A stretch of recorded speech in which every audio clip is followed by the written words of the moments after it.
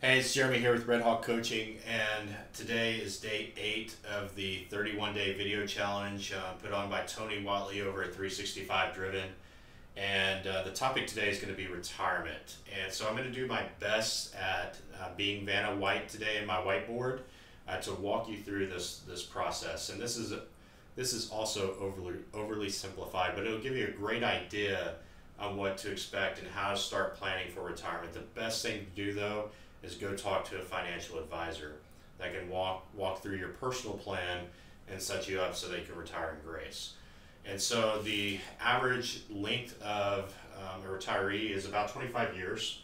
And so we're going to work off that number there. And so here's how, here's the formula. Here's how you calculate it. Is that you need to have at a minimum $900,000 after tax money. Uh, the financial advisor is going to tell you that in, in, order for that money to last 25 years, that there's going to be a draw of, um, just to simplify, it's usually a little bit under 4%. In this case, we're going to use 4% for the math, uh, make it simple. Uh, so 4% draw, which will give you $36,000 a year, which will give you 12, or I'm sorry, $3,000 a month in income. So that's not a whole lot of income yet we have to have $900,000 after tax money put back in order to have that $3,000 a month. Now, if you want $5,000 a month, it would take you approximately 1.5 put back in after tax money uh, to accomplish that, that goal. So everything's a factor of that 4%. So let's say you wanted to do 10000 a month, that would be $120,000 annual income you divide that number by 4% and that's going to give you whatever number you need in after-tax money to make that that happen.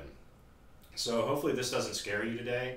Hopefully this gets you thinking on how do i influence this number over here?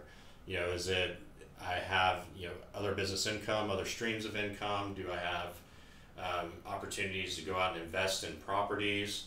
Um, am i investing in city bonds? Am i investing in stock uh, do I start a side business and have income flowing through that? Uh, whatever that case is, you need to start thinking about what, what can I do here to influence this number so that when you get to the age of retirement, you begin to take that draw, that you have enough money in place to live out your life gracefully. So talk to a financial advisor. I highly encourage that. Find somebody that's local to you that you can sit down and work through a plan so that when you get there you can you can live out in grace.